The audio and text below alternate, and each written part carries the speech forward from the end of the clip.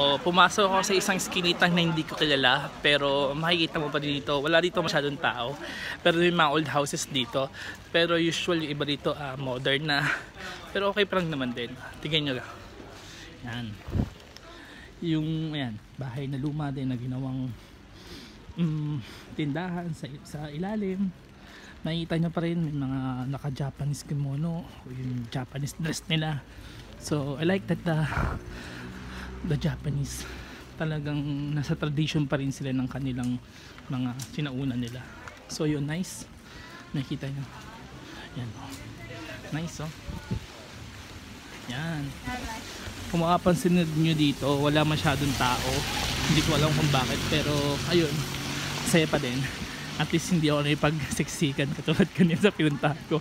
Hindi ako makapagkuha ng video kasi nga ang daming tao. Yan kita nyo dito. Yan. Mga tindahan. Hindi ako bumibili kasi mahal. Pero pag naisipan akong bumili pag may mura pagtingin ko magagamit ko siya or mas, mukhang masarap yun. Pero ganda rito wala masyadong tao. Yan may coffee shop. Kitang coffee shop nila oh. See?